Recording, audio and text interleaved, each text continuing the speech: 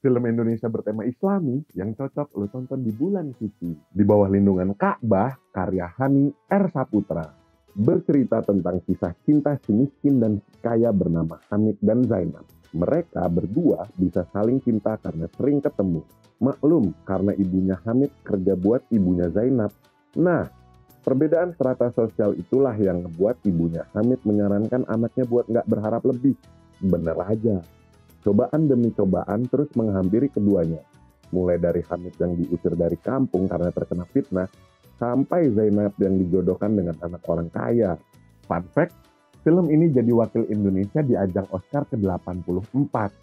Dan buat lo yang mau nonton film ini, bisa langsung ditonton di Disney Plus. Let's go!